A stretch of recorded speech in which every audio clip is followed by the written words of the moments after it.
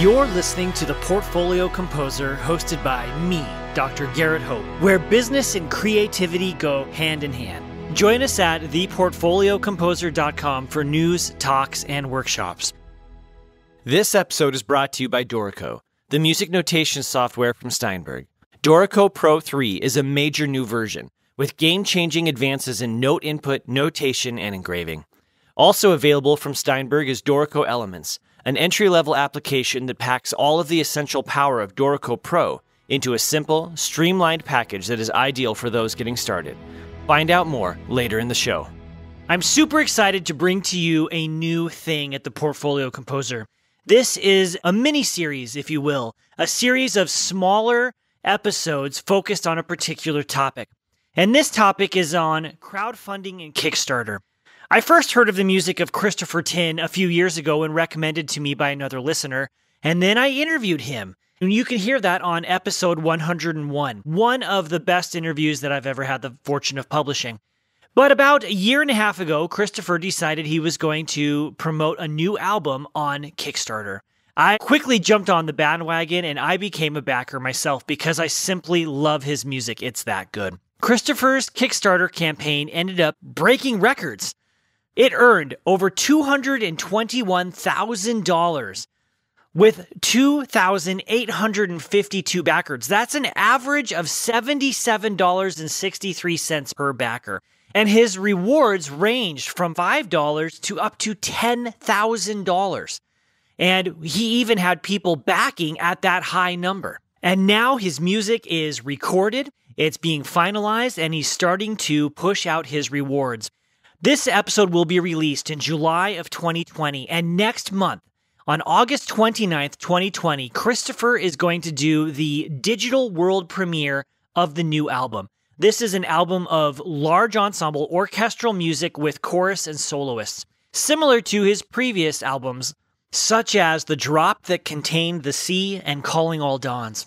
His music is exciting and energetic and emotional, and he tells good stories.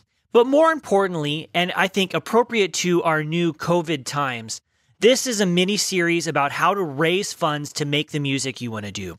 If you have questions about the ins and outs of running a Kickstarter campaign and a successful one at that, and how to think of your backers, the people who are interested in funding your music and want your music to come to life as your primary thing, where your focus should be, this is the series for you. I encourage you to go to christophertin.com to learn more so you can purchase your own copy of the music.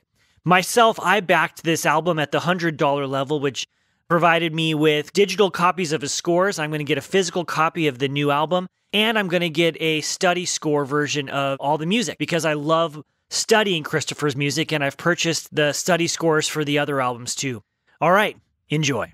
There are two reasons that one does a crowdfunding platform like Kickstarter. The first is, you know, you just want to raise some money to make your next artistic project. The second reason, perhaps the most compelling, is that you want to create advanced buzz for a project. And as I found out on this Kickstarter, announcing to the world that you're raising the funds and then, you know, getting all these people to contribute generates a lot of internet traffic around your forthcoming project and is a great way to sort of get out to the world that you're doing this. And if your project winds up, you know, staying at the top of the Kickstarter funding charts for a long time, which I think mine will hopefully do, it helps your project stay relevant and present in people's minds and discoverable in that sense, right? I think one of the big problems with creating albums and releasing them and so forth is that once you spend all this time making your album and you get it out there and it's distributed, after a month or two, after the newness of the distribution is done with, the public tends to sort of forget that this album is out there and they've moved on to the next thing. So, in a way, a Kickstarter campaign is a way to extend the visibility of your next artistic project over a much longer time frame and just to build a lot of excitement and to build a community. And ultimately, what you want to do is build this community of people that you interact with regularly because those are the people who come back and will fund all your projects. So, Kickstarter is also a great communication vehicle for you to connect with your fans, get them involved in the process of making an album, and cement that bond between the creator and the fan, which is I think just an incredibly powerful thing. And I think it's something that classical musicians in particular are very bad at doing. And this was kind of like, I thought, just a great way to, to tackle all those problems all at once. At this point, Christopher and I switched our conversation to focus on the new economy of music, how people are accessing music, what that means, and how even those who want to pay for it can support you, even though the old business models are no longer in existence. You know, the old model was that you release an album, you sell it, hopefully you make your money back and make some profit on it. But I think over the last 10 years or so, we've seen a shift in public understanding of music consumption. Like, I think people these days do not understand what paying for music after it's been created means. You can access music for free anywhere via YouTube, you know, Spotify. Like it's very easy to be able to listen to anything you want. And so the public doesn't understand this concept of, oh, I can't listen to this new piece of music unless I pay for it, right? But what the public does understand now is the need for creators to have funds to create their work. Mm-hmm. So in essence, I'm going where the money is in the public's eye, people are prepared to give money up front before the work is created, but not after it's been completed. So this is me shifting my paradigm to match the state of the industry is now. I think it's not so much that people won't pay music to an artist when they know that the artist needs to be supported. I think what happens is convenience, especially from things like streaming services, overrides that need to support a musician. So even though they may have the best intentions, like, oh, you know, I really want to support Christopher Tin because I like his music and I want him to make more albums, in the age of Spotify, there is actually no mechanism whereby a fan can actually contribute money to an artist in a meaningful sort of way unless they go out of their way and they go and purchase a cd or purchase downloads or something in you know a more traditional way. But let's say you're an average music listener and now spotify has come along and it's so convenient and you can get almost any music you want for $10 a month, right? You may think that you're actually supporting your favorite artist by listening to their music on Spotify, but in reality, that artist only gets about half a cent at most per stream. And so there's no direct mechanism for a fan to give money that will help support an artist anymore. In today's music economy, there are fewer and fewer platforms by which a fan can directly support the artist whose music they love. And I'll give you an example. In the old days, if you went to a band's show at a bar or whatever, and you're like, God, I love these guys. I want to support them. I'm going to buy their CD, right? So afterwards, you stick around, you give the band $20, you get a CD, that $20 goes directly into the band's pockets and they're able to use that money for recording their next album. But if you're a music consumer in this day and age, in the streaming era, where all your music consumption comes specifically from Spotify or Apple Music or Tidal or a streaming service, and you're not buying CDs anymore because everything you want is already there. And everything that, you know, all the old models of paying for downloads on iTunes and that sort of stuff has since been supplanted by your streaming subscription which is very convenient and replaces the need for having CDs and so forth, you no longer have a mechanism to directly support that band unless you buy a t shirt or you go to one of their gigs or something like that. But the old model where patronage, i.e., listening to music after it's been created, leads to profits for the band doesn't exist anymore. And that's because Spotify, Tidal, Apple Music, these services pay so little. They pay something like less than a half a cent per stream, right? So even the best intentioned fans, if they listen to your album like, you know, 20 times or something like that, you're still only getting, God, like a dollar out of that. I mean, that's not enough for most musicians to have money to create their next album. But what has come up in the last 10 years is crowdfunding and people get this a little better right? People get that you know a band needs money to go on tour and things like that. And it's a vehicle for them to extend their patronage at not just a fixed tier of like $10 a download or $20 a cd but at any tier that they feel comfortable contributing to.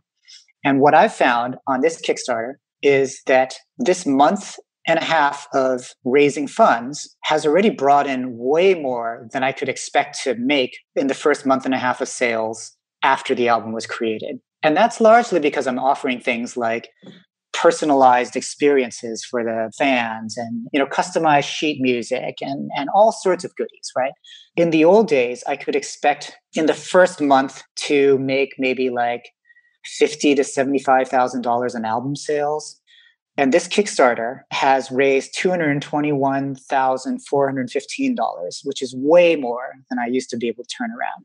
So, what's brilliant about this is now I have the funds to make this album, and I don't have to wait for the album to recoup before I make my next album because it's already pre recouped in a way. Right. Yeah, you've pre funded it. I've pre-funded it. Yep. And that's incredibly powerful mm-hmm. because now I don't have to think, oh my God, well, I got to wait another five years for this album to recoup before I make my next one. I can just finish this one and right away start thinking about the next one. And of course, I might have to do another Kickstarter for the next one as well. But I mean, the point is like, this is a fantastic way of eliminating one of the biggest barriers to creation from a musician standpoint, which is financing, right? We're all sort of painfully aware of the money that flows in or doesn't flow in based on the success of our albums. This is a great way to pre enable the next album. This episode is sponsored by Dorico, the future of scoring. And we want to feature real Dorico users so you can know that real composers out in the world today are using Dorico to make their careers happen? My name is Homayun Kazemi. I'm a composer. I'm studying my master's degree in the Utrecht Conservatory in Holland. I study spectralism and I combine Iranian music, melodies, and a lot of stuff from my culture. There are these quarter tones that you can use. The fact that Dorico can play these quarter tones.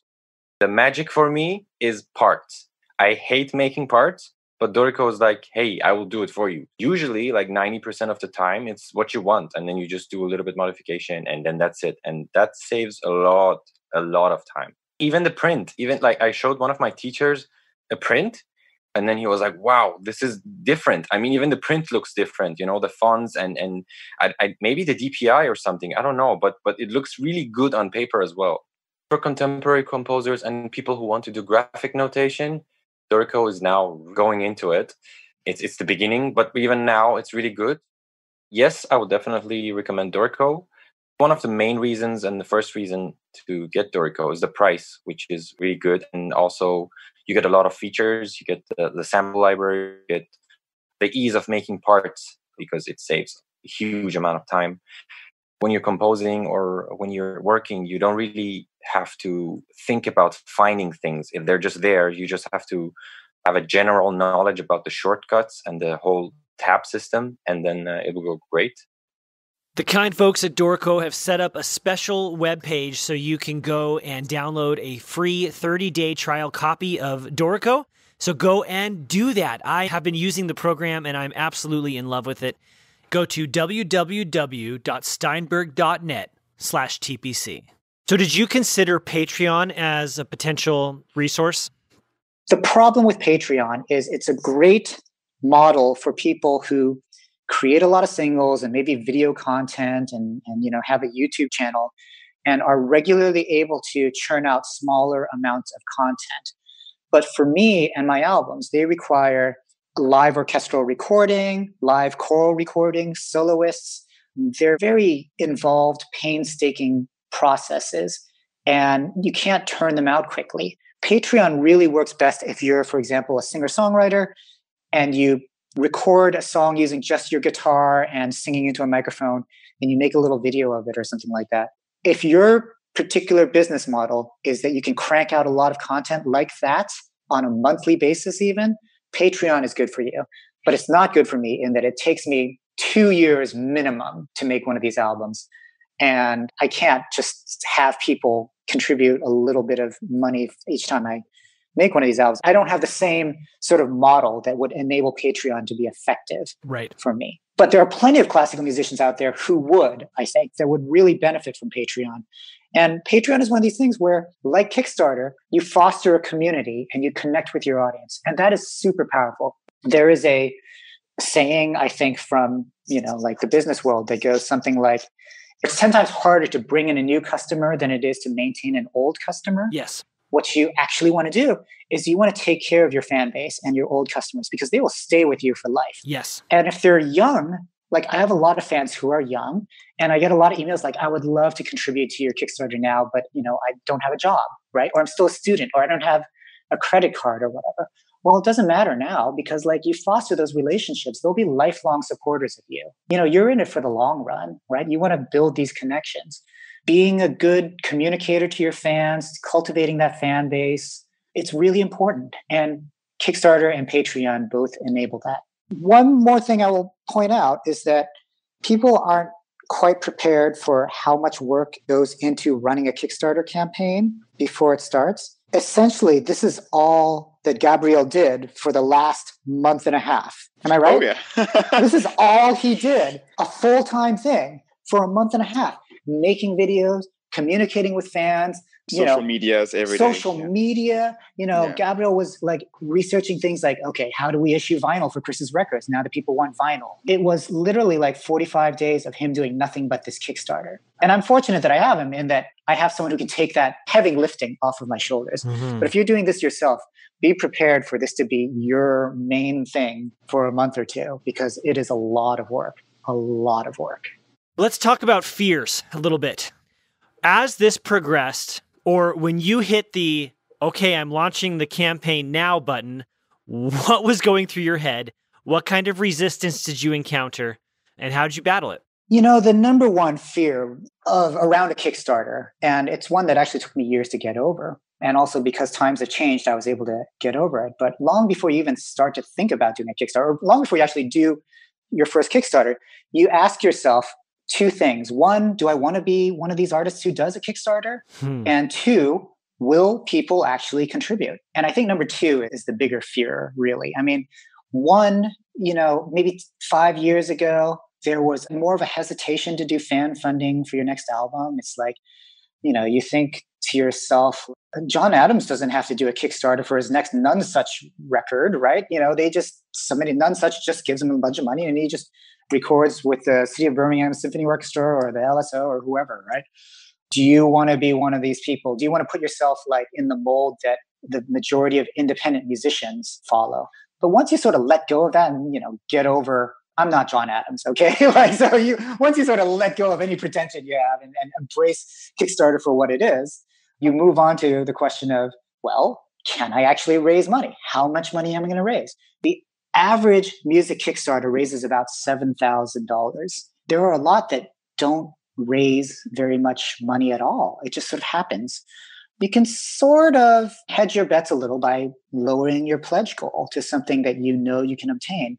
And that might actually even just take the form of reaching out to some of your friends and fans and saying, Hey, I want to do this. You know, like, how much do you think you would be willing to contribute? And early on, yeah, one of my fears was, God, like, what if this does not catch on at all? What if nobody wants this? That's kind of embarrassing. Be sure to subscribe to the podcast on whatever pod catching app you're using and come to theportfoliocomposer.com to get on the newsletter. I will let you know when the next episodes in this mini series are released. We're going to cover all the aspects you need to know to run a successful Kickstarter campaign. Until then, keep writing music. This episode of The Portfolio Composer has been supported by Dorico, the music notation software from Steinberg. Whether you're a composer or arranger, a teacher or student, working in music engraving and publishing, or working in producing music for media such as film, TV, and games, Dorico is the tool for you. Dorico comes in two versions Dorico Pro for professionals, and Dorico Elements, providing the perfect introduction to the world of scoring.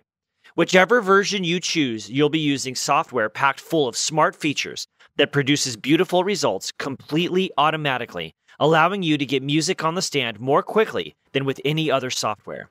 You can bring music into Dorico from your existing software using Music XML or MIDI, and you can try Dorico out completely free of charge for 30 days by downloading a trial version from dorico.com slash TPC. Try it today.